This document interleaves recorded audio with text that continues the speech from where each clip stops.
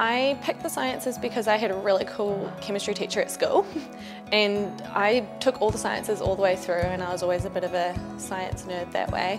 I liked that it was like math with a purpose. It was quite, because I like numbers and I like doing all that kind of stuff and it really does, it makes a lot of sense of the world. Like you learn about all these small things and how the things work and then when you can relate it to bigger scale life things, I find that really interesting.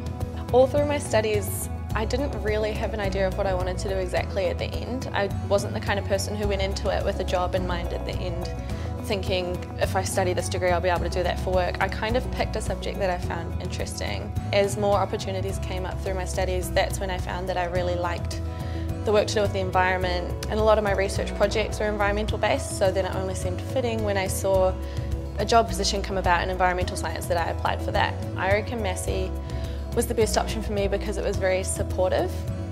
The smaller class environment and stuff at the campus that I was at and having a real close relationship with my lecturers was really what sold it for me. There was never anyone that I really met that wasn't friendly or happy to help if you had questions. I learnt that people will keep giving you opportunities if you choose to take them. I learnt so much about my capabilities. I didn't think that I was going to be able to go as far as I did with my study. I always thought it was going to be quite a struggle and that things were going to be really hard. But because Massey was so supportive and the people around me were so like supportive, keeping going was never a challenge.